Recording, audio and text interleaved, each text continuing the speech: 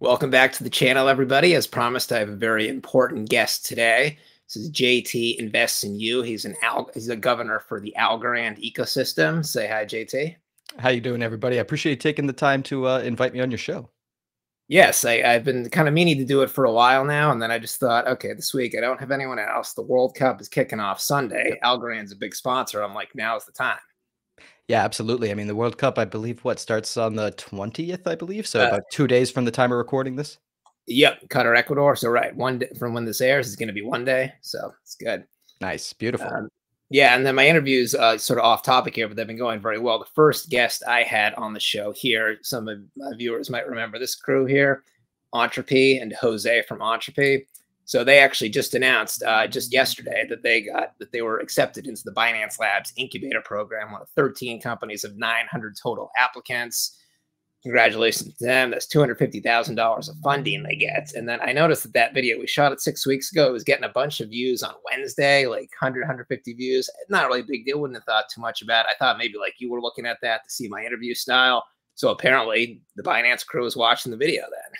Right. I mean, it's possible. And, uh, and in all honesty, I think it's going to be really interesting. I know you're going to ask about it in the future, but uh, you know, Algorand's Decipher is coming up in about uh, two to three weeks, and they actually have a panel with the uh, executive director of Binance. So it's not CZ, but uh, whoever the executive director is. I can't think of the name offhand, but really curious on how that conversation is going to go, especially with all of the fallout with FTX and how Binance was involved to some degree with the selling of FTT token. Uh, so that should be a really interesting conversation. Yeah, why don't we actually start right into that there? So there, Algorand has their Decipher 2022 conference. It's in 10 days, the 28th. It's in Dubai. Last year it was in Miami. It's not just limited to Algorand companies. It's also other ecosystem companies. Now they originally had Sam Bankman-Fried speaking. It was a big announcement three three weeks ago before all this went down. Then he appeared to be uh, uninvited. It looks like. Yeah, I think I think that's the news of the day that he has been officially uninv uninvited for sure. Right. Uh, Staci Warden, she's the CEO of Algorand Foundation. She put up a tweet like a week ago. Uh, no, Sam Bankman-Fried will not be coming. Yeah, I um, mean, uh, no surprise there at this point. I mean, there is a small part of me that is just like so curious what he would say in public, but yeah, no, he shouldn't be there. I mean, we'll we'll we'll leave it at that it's too bad because it was a big deal when when they right. got him because he, he, doesn't really have any direct connections to the Algorand ecosystem. Not really. Um, no, like, which, which in a way, I guess we, uh, well, I say we because I, you know, I'm a prominent member of the ecosystem, but uh, Algorand as a whole kind of dodged a bullet because there's not too much money sloshing around from FTX or any of the sister companies that FTX was uh, sort of a part of, whether it be Alameda Research or any of the ones that received money underneath. So uh, fortunately, uh, uh, relative to some other ecosystems, I mean, I think we kind of dodged a bullet there. Yeah, I think uh, the total exposure was only one million dollars that uh, Algorand had on FTX. So that's their total losses. So a one point nine billion dollar market cap, one million loss. That's that's about as close to zero exposure as you can get. So that's very good news. Yeah, yeah, exactly, exactly. Yeah, it's a tough, uh, tough scenario though, honestly, because uh, I know a lot of people in the ecosystem, myself included, were you know really hoping to see uh, USDC on Algorand be uh, included on exchanges like FTX, and they just recently announced that they were going to be adding support for USDC on Algorand. So a lot of the community was excited. I know a lot of people even left their Coinbase account to go over to FTX because the uh, you know because of this announcement. Uh, so on that note, that's a little sad, and I do hope to see other exchanges like maybe Binance or even Coinbase adding support for these ASAs, which would be fantastic. Uh, and it, it is kind of unfortunate that the first big exchange that did add support for USDC uh, on Algorand went bust uh, maybe three weeks after that, four weeks after. Yeah, that was a big announcement about three weeks ago. USDC was going to be launched on the Algorand blockchain, and then it was going to trade on FTX, which was kind of a big deal. So that's, I guess, where the $1 million in assets on FTX was, kind of like prepping that. But, you know, whatever minimal right. exposure, not bad. And then I think so. Anthony Scaramucci, he was also so he's been on your show. He was supposed to be speaking at Decipher. I'm not sure if he is anymore. I didn't see his name on the thing. I, but, but I think his hedge fund they it's they had a little bit of exposure to FTX, but they are by no means under. They have weathered the storm. Is that how you understand it?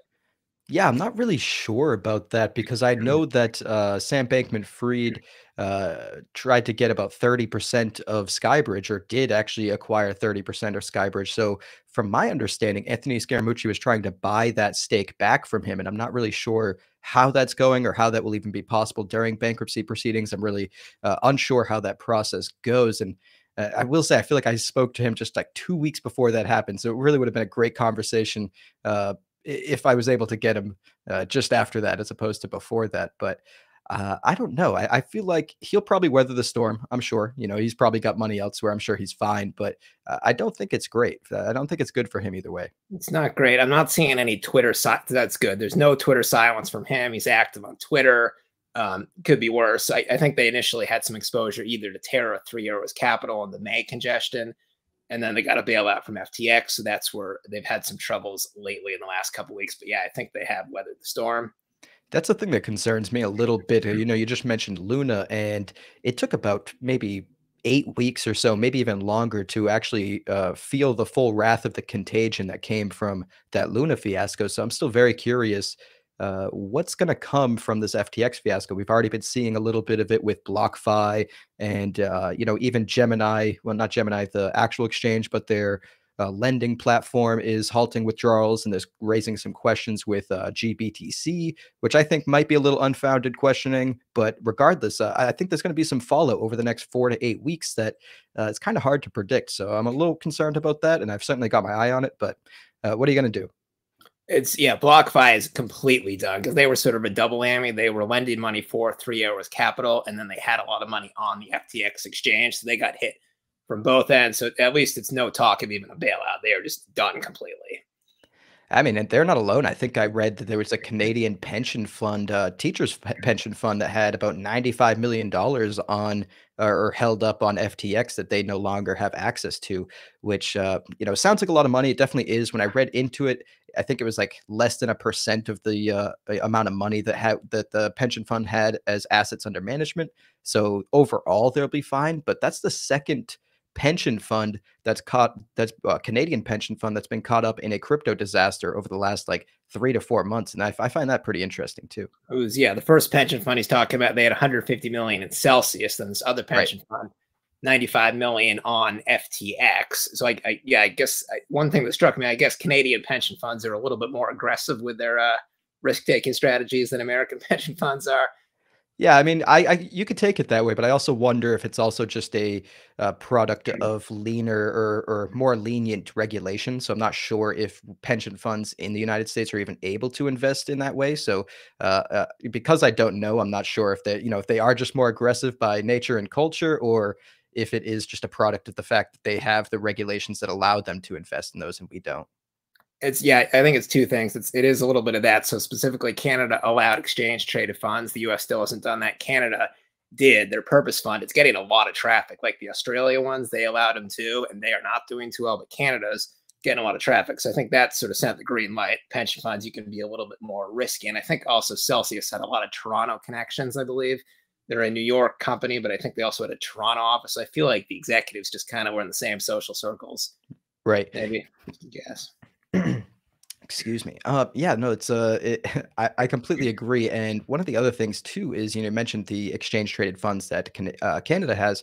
Uh, the only thing that we have that's even close to that is GBTC, that uh, you know Bitcoin trust held by Grayscale, which I believe is now trading about 43 44% under nav currently so uh, the only real major product that we have here in the states is uh, not doing so well. So I'm really, I'm really hoping one day we get an actual ETF or mutual fund that allows crypto. But uh, I don't know the way the regulations looking and the way that we're going to have a divided Congress after this last election. I don't, I don't think anything's going to get done for a while. It's yeah, the SEC clearly has a bad relationship with Grayscale. I don't think they're ever going to approve anything Grayscale. I, I, just don't think the two sides like each other. They do have a better relationship with ARK Invest. So they just, the SEC just delayed. They didn't cancel, reject. They just delayed ARK's latest uh, application for an ETF. So I feel like if one's going to be accepted, it's probably ARK. Yeah, I'll definitely keep an eye on that, but I'm not hopeful. I know uh, Scaramucci also had, uh, you know, a couple attempts at trying to get an ETF there as well, or at least uh, I believe that's what I read. Uh, I don't know. It's it, it might be a long battle. I do. I am hopeful that it happens, but uh, it's going to be a snow, a slow, slow moving target, in in my opinion. So yeah, your prediction is no time close, which is what most people tend to think. Unfortunately, the way the government works, it's uh, it seems more likely than not that it's not going to be anytime soon. Probably, yeah. I was hoping since the Canada one got a lot of traction, maybe it would kind of carry over here. But that was like a beta test, in my opinion. But... I used to be more hopeful, but I'm becoming a I'm becoming a cynic. yeah, at least we well we do know the announcement itself, even if it doesn't get too much traction, the platform it will still. But even if it doesn't, the announcement is definitely going to be a huge positive momentum indicator right. of the market. I think it's just going to cause a huge pump that day. Well, that's the other thing too. I mean, there's people. I mean, I'm not a I'm not big on conspiracies, but there's people that theorize that the reason that they're putting off uh, an ETF of any sort is because they know it'll be a boom to the market, and right now they're trying to keep asset prices down to tame inflation, so they don't want to do anything that's going to cause a boom to any of these markets. In fact, they're, they're really attempting to do the opposite.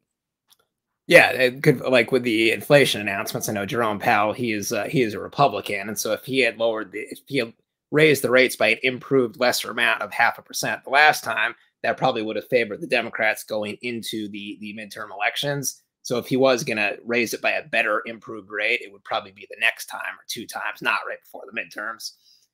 Yeah, I'm curious on how far we'll go with rate hikes too, because uh, you know, every time he signals a uh, a target or you know a target area for rate hikes, it does seem like as the months progress, those targets uh, are moved a little bit. So I believe right now uh, everything's pricing in maybe another like 50 to 100 basis points, if I'm not correct, uh, if, if I'm not mistaken. And I think we're going to go past that personally. I think they, unless uh, inflation really has peaked and we had it come down to about 7.7% on the last reading, which is still way too high. Uh, I don't know. I really think those rate hikes are going to come up higher than people expect and in, in the market's pricing it. So you're predicting kind of just still 0.75%. That's what you're saying? Uh, you know, maybe maybe they'll bring them down to 50 basis point hikes, but I don't think they're going to stop as soon as people do. Okay, could very well be. And let's uh, shift gears a little bit. So we have a new contender for hedge fund blow up of the year. This news kind of just broke yesterday. Multicoin Capital. Uh, supposedly, they, they lost 55% of their total asset value in the last two weeks. It was a mix of uh, they had some money on FTX exchange. They owned a lot of FTT tokens as long term investments. They were best buddies with the whole FTX crew. They also were early investors in Solana, which got wrecked in the last few weeks, and just the market downturn in general. But I mean, losing 55% two weeks, Jesus. Yeah. Do you know how much? Uh, do you know how many uh, assets they had under management, or how much uh, that drop was? Like, what was it at before it fell fifty five percent? I seen a false tweet. They're supposedly was false for around nine hundred million dollars what they lost, but there was that was not backed up. That was quoted from like a Fortune magazine article, which people were questioning their sources. I, it's so hard because since like prices of Bitcoin fluctuate so much, it's so hard to know at any given time what the net assets and value is. But still, fifty five percent when the market's only down about twenty percent it's pretty bad.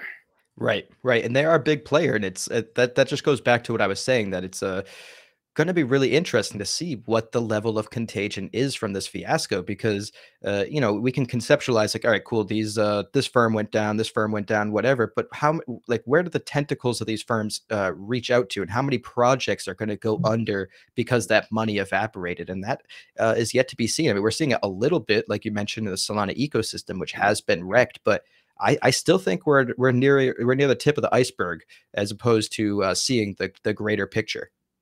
Yeah, I think going forward, you're going to be hearing when you talk about projects doing your due diligence. One of the key factors is going to be had zero exposure to FTX or anything like that. Like I'm promoting with Algorand, one million dollars total. It's like 0.0001 percent. So I think that's going to be a key variable going forward. Yeah, absolutely. And it just kind of gives you the peace of mind that, uh, especially if this bear market's going to be uh, long lasting, that the projects that people are excited about have longevity because that's really, in my opinion, what every project should be striving for right now. You can you can get out product features and all these other cool bells and whistles, uh, but if you don't have the money to get to the end of the bear market, it, I mean, uh, what are you going to do even with all those bells and whistles? So I, I, think that's the name of the game currently. And of course, it's going to bode well for those projects that haven't been too exposed to a lot of these crypto fiascos. Which, yeah, it's a good point because Three Arrows Capital, even though it had a lot of hoopla, it was only created about a year and a half ago in 2021. But Multicoin was around since 2017. They were an old school right. player. So, but yeah, I don't know. I think a lot of people just don't like Multicoin. If you look in the Twitter comment section of any tweet announcing their down, I mean, people just seem to be like celebrating with I, the Three Arrows Capital guys look like saints compared to the Multicoin guys. Uh, I, people just don't like them. I don't know why. Yeah, I mean, it, it's it, it's one of those things that it's unfortunate that the crypto market had to go through these uh, troubling times, but uh, to a degree, as the old saying goes, when the when the tide goes out, you get to see who's swimming naked, and uh, it it was sort of time to wash away some of the uh, bad actors in the space, and it is really unfortunate that retail is always the one that gets hurt the most uh, during these uh, you know washes of bad actors, but. Uh, uh, I will say it probably had to happen for the next for the next cycle to continue. You know. Yeah, sort of cleansing of the guard, washing out. Right. Um, now let's talk. So you're a, a governor for Algorand. So what exactly does that entail? Yeah, and actually, full disclosure, because I actually not that I got hit that hard, but I needed some liquidity, so I actually dropped out of governance because I need to sell a little bit. But uh, I'll, I'll you know come back to that caveat, and I'll say that Algorand governance is fantastic. It's in its five, it's in its fifth period so far, and this is the first one I've ever had to drop out of, unfortunately, and it's because I didn't follow my own rule, which I'll get back to as well. Uh, but Algorand governance is this thing where you essentially lock up your tokens for about three months and commit to voting on proposals within the Algorand ecosystem. So they could be anything from, uh, you know, creating a creator fund where they uh, want to create a fund to buy NFTs within the community. They could be a creator, excuse me. Uh, it could be proposals like there are right now to allocate algos to DeFi protocols to incentivize the growth and use of DeFi, which is fantastic. Uh, really could be whatever, especially because they just uh, created or they're in the process of creating this XGov process, which creates essentially a bunch of little XGov DAOs, and you could become an X governor essentially just by being a long-standing governor within the Algorand ecosystem, and then you'd have the ability to create proposals and vote on these proposals as well. So, uh, governance is anything you want it to be in theory. If it's you know it's a, a political tug and war between the community on various proposals, and uh, so far, I think it's going fantastic. But uh, yeah, going back to my hmm, going back to what I was saying before and why I had to drop out, I did need a little bit of that money. And unfortunately, what I always tell people to do when they want to join governance is join with like two or three wallets. Because if you if you go under the amount you commit, you're ineligible for rewards. So if you if you need to use that money, use it if you want to access governance, I say you should do it with two or three wallets. So that way, if you have to access some money, you know, two of your wallets are still eligible while one might not be, which I didn't do that. I didn't follow my own rules and now I'm inel ineligible. so you have to maintain a certain like stake in your wallet basically to keep having the governance voting. Exactly. So I mean, it's it's a similar it's a proof of stake mm-hmm. protocol. So it's similar to that concept where, yeah, for about three months at a time, you commit a stake to the governance protocol. Uh, well, I say protocol, but it's essentially a soft lock. So you're still keeping your tokens in your wallet, uh, although there's some caveats to that as well, because there are some DeFi vaults you can use through apps like Algo Vault, where you can still access governance, but have access to uh, your funds as well and be able to leverage them. But that's a whole nother story. So essentially, you commit your algos for three months period. And if you go below that commitment, you are ineligible. And if you don't vote it during that three month period, you're also ineligible. So essentially, it's incentivizing people to have a stake in the game, uh, hold for three months, vote, and even propose proposals to be voted on. And then at the end of the three months, you get a reward. And I believe currently it's about seven or 8% for the current iteration of governance. And I believe if you go through a couple DeFi methods, it gets up to like 10 or 12%. Okay, so it's, so it's like staking, but then you actually also have to be active and voting. Yeah. You can't just be pat. Then you, you'll you'll lose your stake if you don't if you don't vote, and then you get a reward after. Okay. Yeah, absolutely. And a lot of people are a little uh, confused by that because when they first entered Algorand or when they first heard of Algorand, they had what are called participation rewards, which I thought were phenomenal, where you literally did just hold Algo and you got like slow dripped every day, a 6% or about 6 to 8% reward just for holding, uh, which was fantastic in a way to get people into Algorand.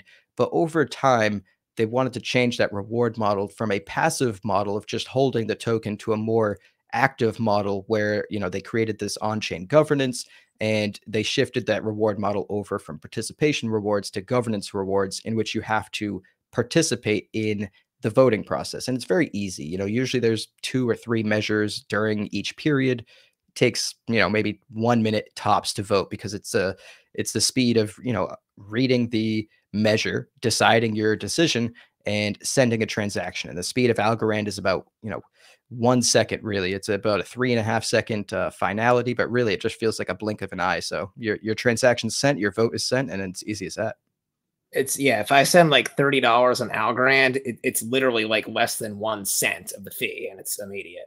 Yeah, I mean, it's it, by the time you can open up the app and check, it's it's already there.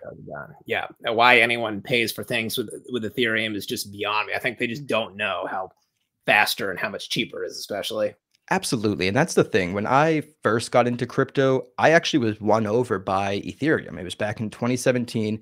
And, uh, you know, I heard of Bitcoin. Bitcoin was cool and all. I, you know, I thought it was very interesting, but it wasn't until the idea of smart contracts that I was like, you know, this is really, really interesting. And we could, we could get rid of a lot of intermediaries uh, that exist today that are just kind of siphon money between two parties and that really provide little value. So I thought it was really cool uh, the concept at least. And then I used it for, you know, a year or two. And during the 2017, 2018 ICO craze, uh, e even people back then were aware of the issues of Ethereum. So there were a lot of Ethereum killers that launched during that craze, like Neo and Tezos, and you know a bunch of other ones.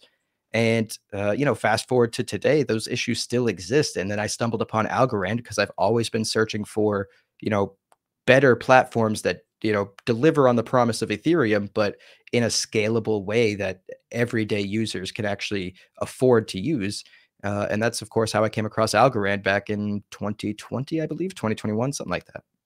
Yeah so a lot of people don't realize algorand is kind of newer. It's uh, they did their big uh, saft or not saft like ico in 2019 they hit right. exchanges i think in very late 2019 so they're not one of the 2017 but yeah, no, I remember Neo. Yeah, what the hell? They were like all the rage in 2017. Yeah. What the hell happened to them? I'll be honest, I loved Neo. I thought it was really yeah. cool. Uh, I, I, I, honestly, I probably still have a little bit on a wallet somewhere that I just haven't opened up. I really have no, I really have no idea. But uh, I, it, from what I understand, it's still processing a bunch of transactions. I think it's like still like number 50 or something around that range on Coin Market Cap. It's, yeah, they're they're still in the top 100. Um, they were like they were like Terra Luna back in 2017. Their founder, I forget his name, he was very charismatic, just like Do Kwon. It's a very Asia sort of a community right there. Remember, uh, remember like Wan Chain, Walton Chain. Remember those coins too? Yeah, I got into those. Uh, what was yeah. it? There was another one. It was like Dragon Chain, and I was just like, yeah, there was a Dragon Chain. Yeah, uh, uh I definitely got into that one as well. Honestly, I was talking to someone earlier about how I kind of missed the ICO days. Like, it was the wild, wild west, and it, it probably shouldn't exist anymore. But it was a fun time in, in the crypto industry. Never again will there be a time where a project could just literally raise 15 to 30 million dollars just putting up a website and if maybe going to a conference or two is amazing. Right, right. I mean, people, uh, you know, create analogies from the recent crypto bust to the dot com bust, and like you know things like uh, Pets.com. All you had to do was throw up a website, and and you had a, a fantastic business that was pulling in billions of dollars. But I, I really think that was closer to the 2017 ICO craze because you're absolutely right. I mean, yeah, basically all you had to do is say like blockchain and throw up a website that said something about smart contracts and uh, have a token sale, and uh, things were fantastic it was yeah for comparison purposes like binance they actually did do an ico public sale during the 2017 right. craze. They only raised 15 million dollars. That was known as like the lowest ico ever. Everyone would always ask cz so why'd you raise such a low amount? Like, like well you know we don't want to deal with too many investors and whatnot but puts it in perspective there. Now let's uh, let's go back to algorand. So which like i can barely keep up with their twitter page because it is so many like ecosystem announcements. It is robust. Definitely one of the more underrated uh, projects, if not maybe even the most underrated. Um, uh, so, wh- which like DApps are you like the most excited about? Yeah, see, this is a really loaded question, loaded I think, question, because yeah. uh, uh, sorry, there's a little bit of echo I just heard, but mm-hmm. uh, yeah, so it's a little bit of a loaded question because the ecosystem, as you said, is growing rapidly, and it, even from somebody that tries to pay attention to it and cover it on a news perspective, I can't keep up with it. But uh, I suppose I'll have to start with the apps I use basically every day. So I use uh, an app called Lofty AI, which uh, allows you to invest in real estate, you know, cash flowing real rental properties uh, that are tokenized on the Algorand blockchain. You get your rental income uh, dripped into your account every single day, which is fantastic.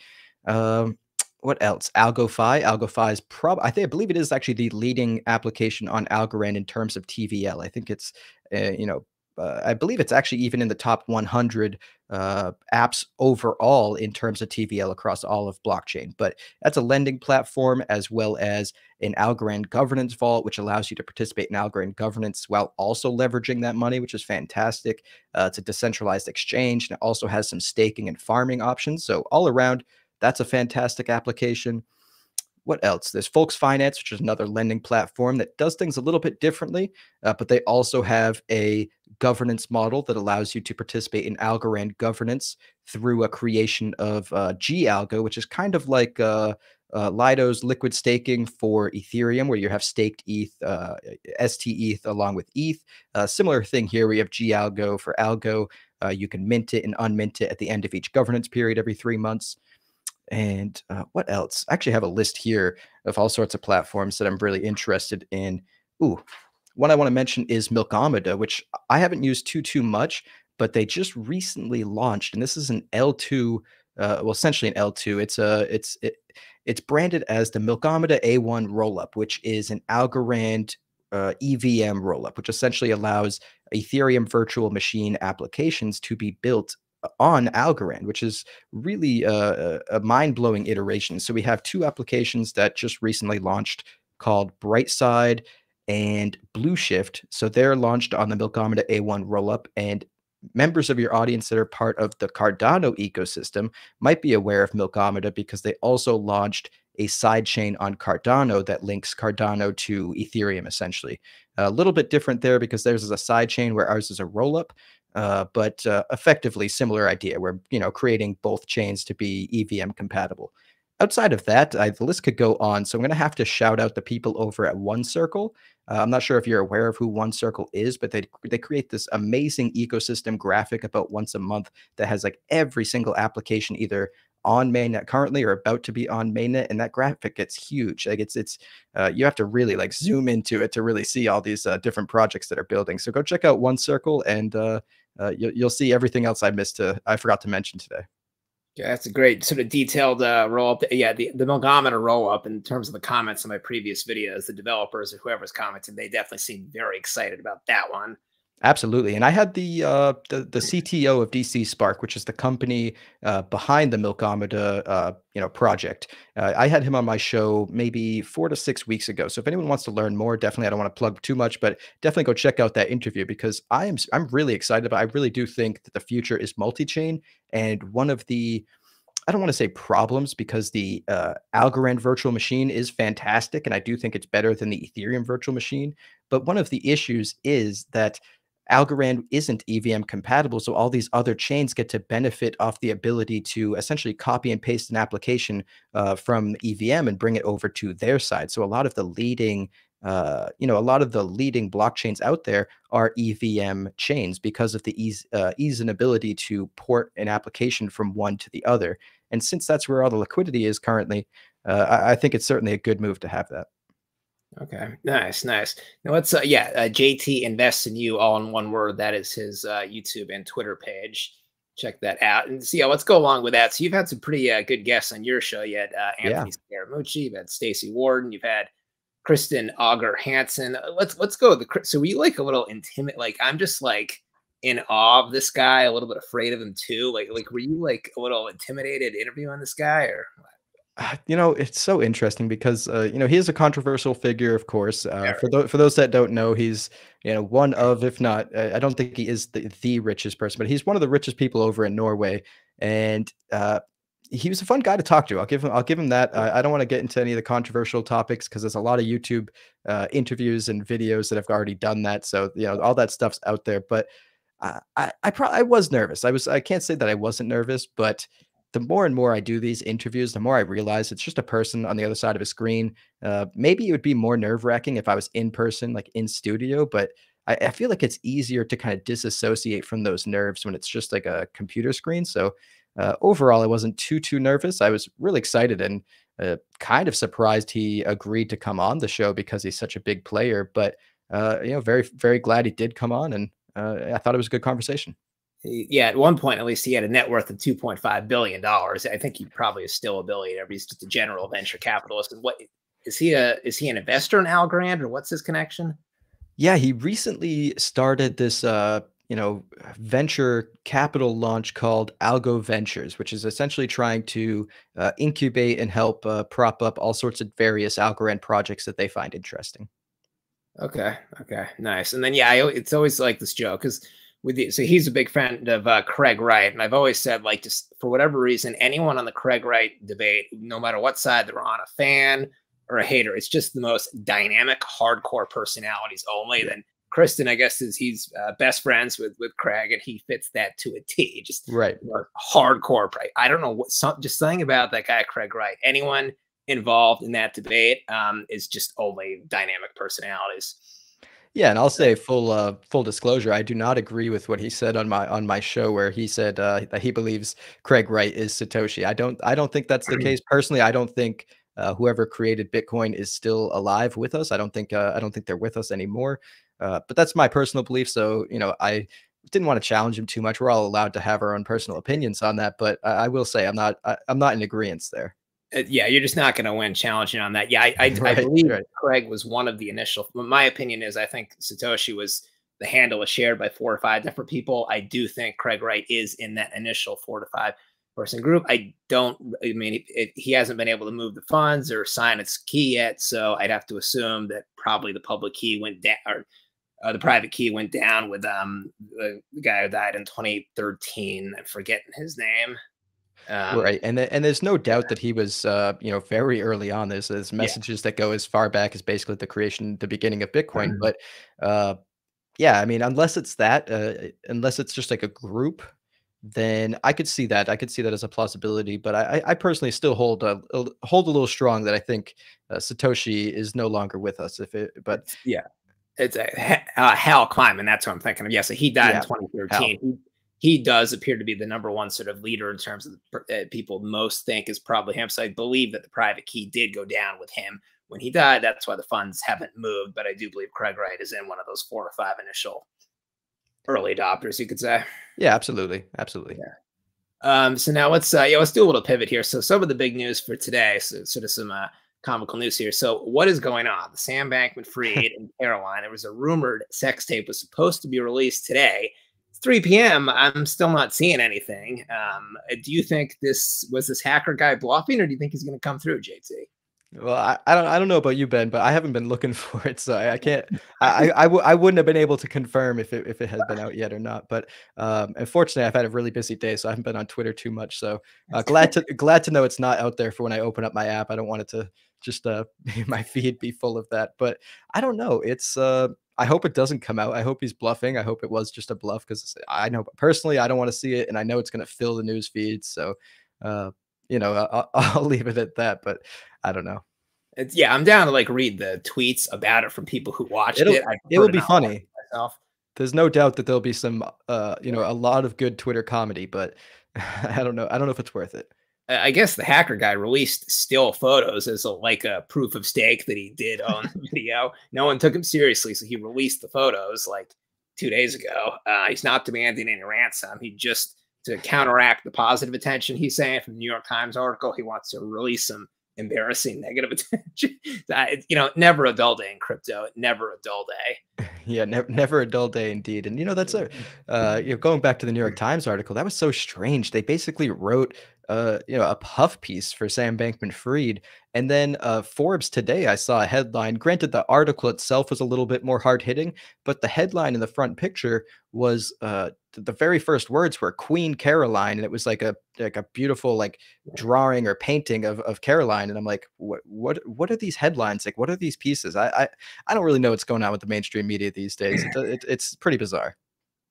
It, yeah, I mean, you know, when your dad is the head of the economics department at MIT, Caroline Ellison, her dad is the number one head of the economics department. That probably plays a role. Sam Bankman Fried's parents, big on the Stanford law uh, professors. So yeah, that. But yeah, so, so, yeah, I mean, going into the FTX, it's, it's got a very Boston feel to it because Caroline Ellison, she went to Newton North High. That's a suburb of Boston. Sam Trabucco, the co-founder for Alameda, who was ousted in May, he went to Weston High, and Sam Bankman Fried went to MIT. So yeah, I'm waiting for like the Boston Globe to write their article on it. The Globe is known as maybe like the second best newspaper in the U.S. behind the New York Times. They have not really written a piece on it, but what are you excited for that? Like I am. I've actually seen that there were maybe at least one or two articles written by the Boston Globe over the last couple hours, uh, but unfortunately, I wasn't able to click on them because they're behind a paywall, and uh, I didn't get to read them. But I did see that uh, when I just doing a little bit of research not too long ago, that there were some articles from the Boston Globe. So if you can get behind the paywall, definitely let me know because I'm curious what they say. But yeah, those Boston connections do run deep. I mean, MIT especially, and even outside of crypto, I was I was doing some research on this. Apparently, there was a lot of money allocated to like funding all sorts of various science research, and uh, there's a lot of like scientists and like funding groups that are you know stepping down from their positions because they're no longer getting this money, or they've promised grants to people that they and they can't cover that money. Uh, so that that's really interesting too. I'm not I'm not really sure, uh, you know, why he was spending his exchanges money on all these random side projects that had nothing to do with crypto. But that's that's I guess beside the point. Yeah, he had like ADD. Like he's, he's just like he's a hardcore trader at heart. and he's got his politician causes, then his charitable causes, then just all these other side projects. Right. He was the second biggest donor to the Democrats, right beneath George Soros, which is uh, pretty wild, honestly. It's a lot of money. Yeah. So are they gonna have to like return that money or not? right. It's never happened before. This sort of situation. So yeah. So I, I, I, people outside crypto, I just don't think they understood. Like, it, people in crypto were just terrified of FTX, specifically on the Alameda side. They just entered and exited positions so fast. Uh, you know, they had a tendency to sort of, uh, you know, kind of just annihilate their enemies completely. Anyone who was a dissenter, anyone who was the competition. Um, and people were just terrified of them. Whereas Coinbase and Binance had never had a reputation for playing dirty, never. Um, so it, it, really just reputations do kind of turn out to be true. I, I, the FTX side, like I on the Alameda side, it wouldn't surprise me. I could kind of seen them blowing up the way it did, but I never expected any commingling of funds. I thought FTX would just smooth sail on that. Never. Right. You know, you you agree with me there? Yeah, I don't think any of us saw this coming to at least this degree. Now, I I, I, hold my reservations about most centralized parties in crypto. I do think Coinbase is probably the most reputable of uh, centralized exchanges, and and you're right, Binance hasn't participated in uh, you know those sort of aggressive tactics before. Although they do have, uh, you know, there has been some questions on uh, users losing funds and had there having been like no customer service at Binance to get anything back. But uh, that's a whole different uh, topic. But uh, going back to FTX and Alameda research, uh, I really don't think any any of us saw the scale of what was going on. Uh, we we suspected shady things, of course, to some degree at least, but uh, to the point of uh, like having a ten billion dollar hole on the balance sheet, like where, like how is that even possible? I really don't understand. And uh, you know, it makes sense for maybe people like you and I who aren't going through the nitty gritty, but I, I, keep thinking about all these big money investors like uh, Kevin O'Leary, and you know, you mentioned Anthony Scaramucci and all of these other people. Uh, where was the due diligence? Like, I, I feel like if if if somebody performed good due diligence before they just like you know had you know gave FTX their money or vice versa, uh, this probably could have been avoided a while ago. But it kind of seemed like everyone was just blinded by his charisma and the amount of money that was sloshing around to really do that uh, deep due diligence. It's yeah, one thing I noticed a lot of the money started flowing and deals started closing right after their big Bahamas conferences. So that shows yeah. me something about being in person around him, his charisma, the whole community, the whole scene down there. People just leave energized, enthused. Just they saw the vision. They probably sort of sort of scrounged on the due diligence, basically. Yeah, that's the way it seems. Honestly, it does. Uh, I mean, if you take people on, uh, at face value for you know what the, how they're responding to this, it does. Uh, the the common uh, phrase that you're hearing is that people were charmed by him. They really were caught up in in his vision, and uh, that's still kind of mind blowing to me that uh, people, even of such high uh, caliber in the investing world, still were kind of blinded by emotion which you know everyone says that you shouldn't invest and trade on emotion uh, yet even some of the biggest players in the in the game still do. Yeah these were not like rich retail investors who have never done due diligence. These were the kevin o'learys of the world and some of the right. top uh, mr so, wonderful. Mr wonderful sequoia capital huge uh, silicon valley vc so. And if you're watching kevin i you know it's all in good it's all in good fun. I'd love to have you on the show. I'm sure ben would too he seems like a natural fit for your show, especially coming after Scaramucci, uh, Staci Warden. You know, I think Uh, yeah, absolutely. Yeah. I mean, I, I, am always open. I, there's no gotcha interviews here, but uh, we, we certainly want to get to the nitty gritty of things. We do. Yeah. Ran Neuner seems to have a lock on the guy. Uh, O'Leary's on a show every single Friday. I have no idea how those two met, but uh, right. if you're watching Kevin, JT invests in you, you can get on his show. You can go on this show too. But yeah, I think JT would be a good fit there. Absolutely. Absolutely. That'd be awesome. That would be. Yes. I think we'll probably wrap up here. So anything else? Anything else you want to plug? Anything else? You know what? If you uh, if you don't mind, I'll take a minute to you know plug my socials, my YouTube, and all the all that jazz. Uh, so I know you mentioned at the top earlier. So JT Invest in You on Twitter as well as YouTube, and I just want to let everyone know that I'm also part of a second show called The Next Block, which I host with uh, David, called Crypto for Change on both YouTube and Twitter, as well as C Will uh, of the Passive Income Network on YouTube. Uh, so we all run that channel, the next block, and we're all going together to Dubai as a whole for that channel. So hopefully, uh, we'll you know see some of your audience uh, in the comment section of some of those live videos that we bring from Dubai. Yes, that's November 28th to 30th. So JT will be there. So yeah, there should be some good comment there, uh, good content there when you're there, I'd imagine. Absolutely. And I think we're going to be there for an extra day or two because of some events going on before and after that aren't like officially uh, tied to uh, Decipher as a whole. So you know, there's going to be a lot coming out. I know there's a whole lot of guest speakers coming to Decipher. I know we didn't actually speak about it too much, but uh, some of what's coming to Decipher that I'm really excited about is, you know, the product roadmap with Paul Riegle, the CPO. Uh, let's see, we've got uh, Supercharging DeFi, which is another panel with Benedetto of Folks Finance and the head of Algorand DeFi. You've got a you know creativity panel with Dequency, LimeWire, Algowana, a whole bunch. It's going to be a blast. So really excited to get the next block out there and uh, bring everyone coverage. And Ben, I want to say uh, this was been it's been fantastic. It's been it's very rare that I'm interviewed. You know, I'm always sitting here interviewing someone else and letting them do the rambling. So it, it's nice to be on the other side and, and ramble for a change. So I appreciate it. Uh, thank you. Yeah, and I hate talking about myself. So this worked perfectly. I, I enjoy interviewing other people yeah, it's it's it's a change. I'm definitely better at interviewing people than being interviewed, but I, I hope your audience enjoyed it, and uh, I, I had a blast. You've come across like a total natural in this interview, so you are good. Fantastic. Great. All right. Well, thank. You. Just stay on for me one sec after I stop the recording here. But this is JT Invest in You. Be back on Monday with a new episode. Everybody, have a nice night. Take care.